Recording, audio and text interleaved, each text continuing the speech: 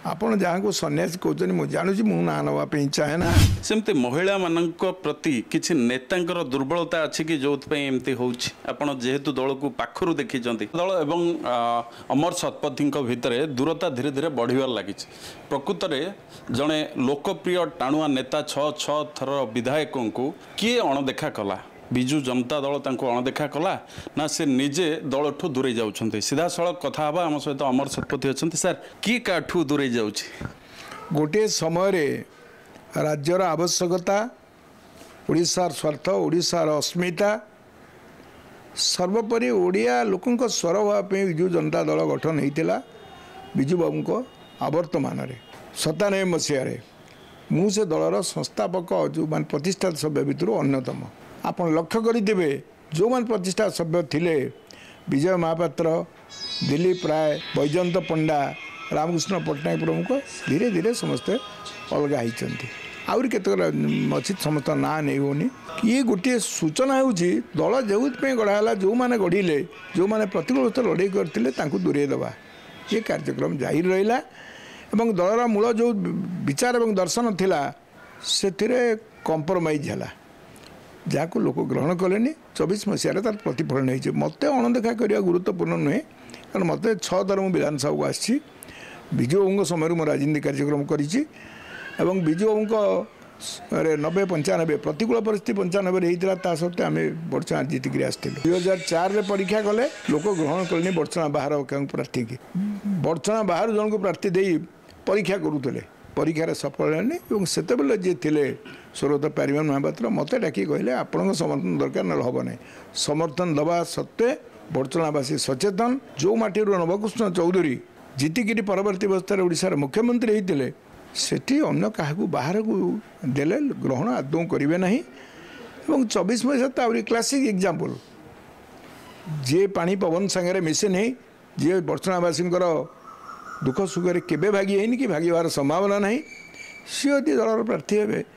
ଲୋକେ ତାଙ୍କୁ ଗ୍ରହଣ କରିବେ। ଦଳର ବିରୋଧୀମାନେ କଟାକ୍ଷ କରୁଛନ୍ତି ଯେ ଜଣେ ଟାଣୁଆ ନେତାଙ୍କୁ ଦଳ ଅଣଦେଖା କରି ଜଣେ ନାଚବାଲିଙ୍କୁ ନେଇ ପ୍ରାର୍ଥୀ କଲା। ୟା ପଛର କାରଣ କ'ଣ ହେଇଥାଇପାରେ ସାର୍? ସେ କଥାରେ ନବୀନ ବାବୁଙ୍କୁ ପଚାରନ୍ତୁ। କାରଣ ନବୀନ ବାବୁଙ୍କୁ ଆମେ ନେତା ବାଛିଥିଲୁ।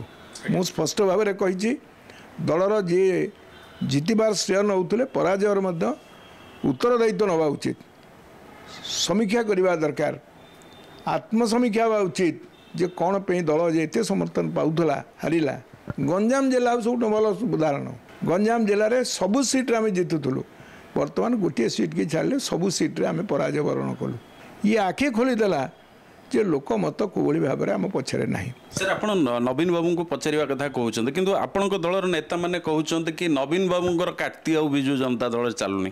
ପଛପଟେ କିଏ ଜଣେ ସନ୍ନ୍ୟାସୀ ଅଛନ୍ତି? ସେଇ ତ ହେଉଛି ଦୁର୍ଭାଗ୍ୟ। କିଏ ପଛପଟରେ ଅଛନ୍ତି କିଏ ଆଗ ପଟରେ ଅଛନ୍ତି ଆମେ ଯାହାକୁ ନିର୍ବାଚିତ କରିଥିଲୁ ସଭାପତି ଭାବରେ ଆମେ ଯାହାକୁ ନେତା ଭାବରେ ସ୍ୱୀକାର କରିଥିଲୁ ତାଙ୍କଠୁ ଆଶାର ମୁଁ କେବଳ ଆଶା କରୁନି ରାଜ୍ୟବାସୀ ବି ଆଶା କରୁଛନ୍ତି।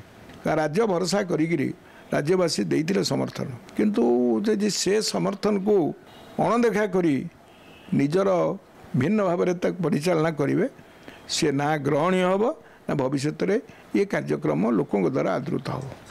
ତଥାକଥିତ ସନ୍ନ୍ୟାସୀ ଯିଏ ଦଳ ପଛରେ ରହି ଦଳକୁ ପୁରା ଅପରେଟ୍ କରୁଛନ୍ତି ଦଳର ବିପର୍ଯ୍ୟୟ ପରେ ଏତେ ସବୁ ନେତା ଅଭିଯୋଗ କଲା ପରେ ସେ ସନ୍ନ୍ୟାସୀ ଏବେ ବି ନବୀନ ନିବାସ ଛାଡ଼ିନାହାନ୍ତି। ଆପଣ ଯାହାକୁ ସନ୍ନ୍ୟାସୀ କହୁଛନ୍ତି ମୁଁ ଜାଣୁଛି ମୁଁ ନାଁ ନେବା ପାଇଁ ଚାହେଁ ନା ସେ କେଉଁ ରାଜନୀତିରେ ଥିଲେ?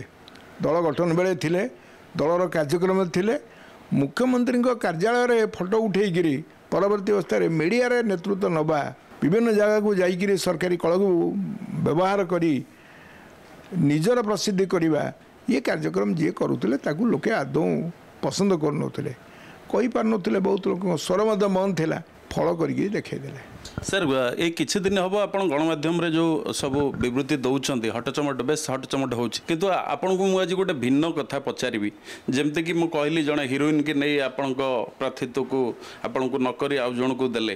ସେମିତି ଗୋଟେ ଅଭିଯୋଗ ଆସେ। ପୂର୍ବରୁ ମଧ୍ୟ ଅର୍ଚ୍ଚନା ନାଗ ଅଭିଯୋଗ କରିଥିଲେ ଦଳର ବିଭିନ୍ନ ନେତାଙ୍କ ନାଁରେ। ସେମିତି ମହିଳାମାନଙ୍କ ପ୍ରତି କିଛି ନେତାଙ୍କର ଦୁର୍ବଳତା ଅଛି କି? ଯେଉଁଥିପାଇଁ ଏମିତି ହେଉଛି। ଆପଣ ଯେହେତୁ ଦଳକୁ ପାଖରୁ ଦେଖିଛନ୍ତି। ଆମେ ମହିଳା ସଶକ୍ତିକରଣ ବିଶ୍ୱାସ କରୁ? କିନ୍ତୁ ମହିଳାମାନଙ୍କୁ କେବଳ ପ୍ରାର୍ଥୀ କରିଦେଲେ ସଶକ୍ତିକରଣ କାମ ହେବ ନାହିଁ। ଯାହାକୁ ପ୍ରାର୍ଥୀ କରିବେ ସେ ପାଣି ପବନ ମାଟି ସାଙ୍ଗରେ ସେ ମିଶିବା ଦରକାର ନିଜକୁ ସମର୍ଥ କରିବା ଉଚିତ ତାପରେ ପ୍ରାର୍ଥୀ ଚୟନ କରିବେ। ଏବଂ ଏ ବର୍ଚ୍ଚନା କ୍ଷେତ୍ରରେ ସେ ଆଦୌ ହେଇନାହିଁ ଯାହାକି ସବୁଠୁ ଦୁଃଖର ବିଷୟ ରହିଲା। ନିଜର କିଛି ସ୍ୱାର୍ଥ ମହିଳାଙ୍କଠୁ ମେଣ୍ଟେଇବା ପାଇଁ ସେ ଏମିତି ପ୍ରାର୍ଥିତ୍ୱ କରୁଛନ୍ତି କି ମହିଳାମାନଙ୍କୁ ନେଇ। ଯେଉଁ ଅଭିଯୋଗ ଆସେ। ମୋ ମୁହଁରେ ସେ କଥା ଶୋଭା ପାଇବନି। ଆପଣ ହେଉଛନ୍ତି ଅନୁସନ୍ଧାନ ବହୁତ କଥା କରୁଛନ୍ତି ଅନୁସନ୍ଧାନ ସାପେକ୍ଷ। ସାର୍ ସେଇଟା ଖାଲି ଗୋଟେ ସଂକ୍ଷେପରେ କୁହନ୍ତୁ ସତ କି ମିଛ? ନାଇଁ ଯେହେତୁ ମୁଁ ଅନୁସନ୍ଧାନ ଆପଣ କରିବେ ମୁଁ ସେଥିରେ କାହିଁକି ପକ୍ଷଭୁକ୍ତ ହେବି? କିନ୍ତୁ ଲୋକ ଆମକୁ ଠିକ୍ ଦୃଷ୍ଟିରେ ଦେଖିଲେ ନାହିଁ ଯାହାର ପରିଣତି ଭୋଗିଛନ୍ତି।